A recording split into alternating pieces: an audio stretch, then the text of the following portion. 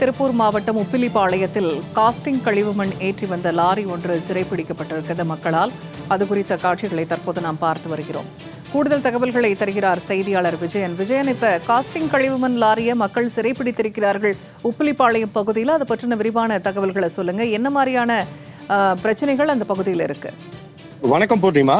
அதாவது திருப்பூர் அருகே அவினாசி அடுத்த அந்த உப்பிலிபாளையம் கிராமத்துல அபாயகரமான வந்து காஸ்டிக் கழிவு மண்ணை வந்து ஏற்றி வந்த லாரிய இருபதுக்கும் மேற்பட்ட கிராம மக்கள் வந்து சிறைபிடித்திருக்காங்க அதாவது டன் கணக்குல வந்து அந்த பகுதியில கனிம வளங்கள் வெட்டியெடுக்கப்பட்டதுனால அதுல வந்து அஹ், மிகப்பெரிய பள்ளங்களை நிரப்புவதற்காக இரும்பு தொழிற்சாலைகள் அதாவது காரமடையிலிருந்து இருக்கக்கூடிய அந்த இரும்பு தொழிற்சாலையில இருந்து அஹ், வெளியேற்றக்கூடிய அந்த காஸ்டிங் கழிவு மண்ணை எடுத்துட்டு வந்து இரவு நேரத்துல இந்த பகுதிகளில் கொட்டுவதற்காக கொண்டு வந்த அந்த லாரியை வந்து இருபதுக்கும் மேற்பட்ட கிராம மக்கள் சிறைபிடிச்சு இப்போ வந்து போராட்டத்துல ஏற்ப ஈடுபட்டாங்க. திருப்பூர் மாவட்டம் அவினாசி அருகே உப்பிலிப்பாளையம் கிராமத்திற்கு உட்பட்ட காரைக்கால் பாளையம் மேலக்காளி பாளையம் கந்தம்பாளையம் மணப்பாளையம் உள்ளிட்ட சுற்றுவட்டார கிராமங்கள்ல அதாவது தனியாருக்கு சொந்தமான இடத்துல டன் கணக்கில் வந்து கனிம வளங்கள் வந்து வெட்டி எடுக்கப்பட்டிருக்கு. இதனால வந்து அந்த பகுதியில் வந்து மிகப்பெரிய அளவில் பள்ளங்கள் காணப்படுது.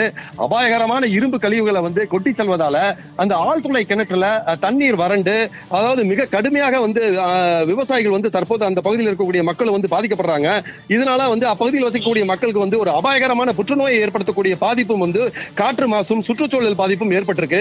இது குறித்து அப்பகுதியில் இருக்கக்கூடிய அந்த கிராம மக்கள் பல முறை வந்து இரவு நேரங்களில் வரக்கூடிய இந்த இரும்பு கலிகளை ஏற்றி வரக்கூடிய அந்த லாரிகளை வந்து இங்கே கொட்டக்கூடாதுன்னு சொல்லி சொல்லியும் வந்து அத்துமீறி தனியாருக்கு சொந்தமான நிலங்கள்ல இது போன்ற வந்து அபாயகரமான இரும்பு கழிவுகளை இரவு நேரங்களில் கொண்டுட்டு வந்து கொட்டி செல்வது வழக்கமாக இருந்திருக்கு.